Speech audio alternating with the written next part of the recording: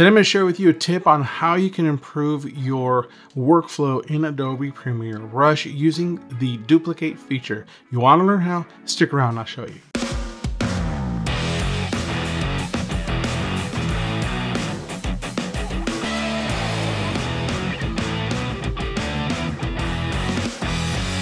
What's going on everybody? Claudio here and welcome to my channel where I share tips and tools to help you share your story. As I mentioned at the start, I'm going to show you how to use the duplicate tool within Adobe Premiere Rush to really help you improve your workflow, get those projects done. I would say a lot quicker because you can copy a project you've already made. So you can kind of create a template. So let me go ahead and jump in and show you how. So I have my projects window opened up. If this is the first time you are learning about Adobe Premiere Rush, I'll have some links to other videos in the description as well as up here throughout the video.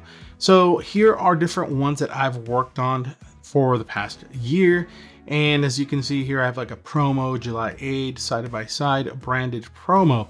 So one of the things I've done to kind of help me improve my workflow is take the project that I've done. I've already got the video laid out in there as well as my logo, uh, my intro. So let me go ahead and click to show you what I'm talking about. So here I have my logo layer. I have kind of this intro with my name and then I have all these different icons for different apps that I'll use that I can easily swap out. Now, instead of recreating this whole project, uh, taking the time to piece it together, what I'll do is go back home here and these three little dots, this is how easy it is. The project options, I'll click there.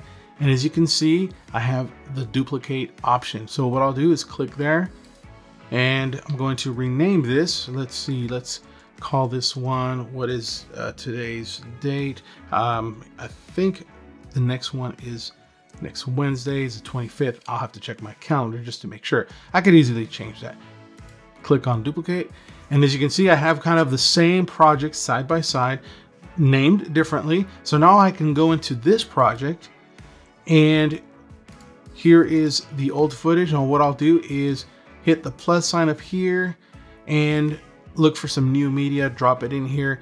I'll have to kind of slide some of the layers into different areas, but really it's just so much easier instead of starting from scratch. I have kind of like my ending here already in place. So what I'll do is just kind of swap out the footage, do a little shuffling, trimming the intro and outro of the video, and then I can easily export this, saving me a ton of time. This is a huge time saver. And something else, a little extra tip here. I'm gonna click on those three dots once again. This is for my new video. Now, one thing here, if you can see, there's a turn sync on and there's a delete from device. So right now this video is only living on my computer. If I turn sync on, it's going to save to my Creative Cloud and then I can access this project on my iPad, Android device, iPhone, whichever other device you have. It's living in the cloud so you can access it anywhere. Sometimes I'll leave this on by default or I'll turn it on manually. It just depends on what I want to do with the projects. Uh, it does take some time to sync, so kind of be aware of that as you work on projects. Hopefully this is something that you can use to improve your workflow within Adobe Premiere Rush. If you have any comments or questions, please do leave it in the comment section below. Don't forget, hit that like button, subscribe to the channel, and click on the bell to be notified for those future videos just like this one so you don't miss out. Thank you again for watching, and as always, be good to one another. Peace. I'm out.